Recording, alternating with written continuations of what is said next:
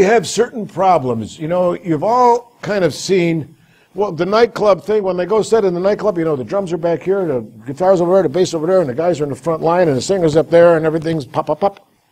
But they go in the studio, they can't set up like that. There's no way.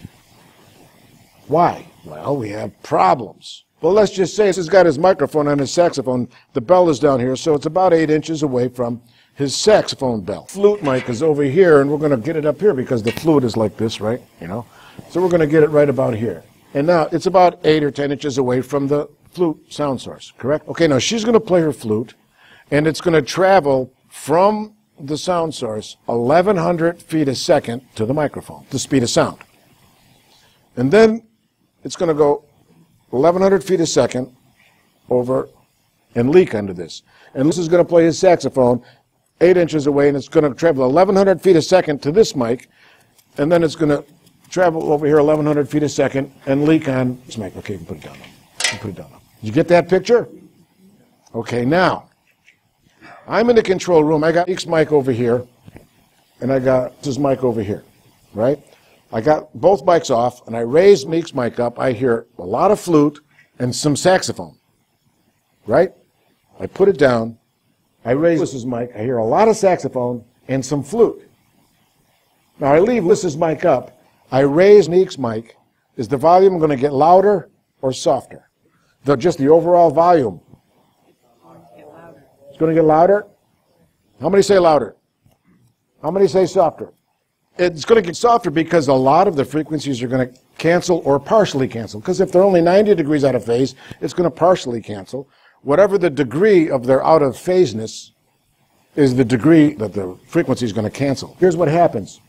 You see, in air, sound travels 1100 feet a second. But when it gets into the microphone, it travels the speed of electricity, which is the speed of light, which is 187,000 miles a second. Her flute sound traveled 1100 feet a second and then got picked up on the mic and went zip into the control room. And then it took its sweet time all the way over here and leaked onto this mic and then zip into the control room, right? Well, if I have a fundamental C, and then I have the next overtone that's going to be twice as fast as that, and then I have the next overtone that's going to be faster, and then I have the next overtone, and then the next one, and then the next one. You see what's happening? So there's all these frequencies at one time just coming when I play the one note. So in the air are all these pitches when she plays her flute. Now all those frequencies travel 1100 feet to this microphone and then take their 1100 feet sweet time to get over to here. Okay, well when they get to the console, her flute frequency, the wave is in this position, but by the time it traveled all the way over there, that same wave is in this position. That's totally 180 degrees opposite. It's going to cancel. You will not hear it. It phase canceled out. It's gone. So now not only are we going to affect the volume, but we're going to affect the texture because we've just messed with the overtone without doing anything. It's just because the two instruments are in the same room with two microphones. If I had one microphone, it wouldn't happen.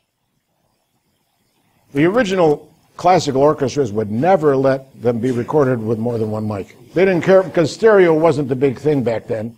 They didn't care for stereo. We want one mic because they could hear the difference of the phase cancellation with the, the over. Listen, when you're standing in front of an orchestra or playing in an orchestra, your ears hear everything. And suddenly when you hear a reproduction of that, you say, where's the, what happened to, you know, this or that of it? Then suddenly they, they didn't understand phasing. All they knew was, that's not the sound. As soon as you have microphone number two to a hundred, whatever, now you've got all these phase relationship problems in the room. Now, all of a sudden, not only do you need to control volume, but you've got problems in texture before you even do anything, just because you got the guy facing in the wrong direction in the room leaking on this other mic. That's why we have those baffles and things so that we can protect the microphones from getting the sounds we don't want them to have. So now when we do multi-instrument recording with multi-mics out here, every single one of those mics has the potential to introduce phase problems to your sound.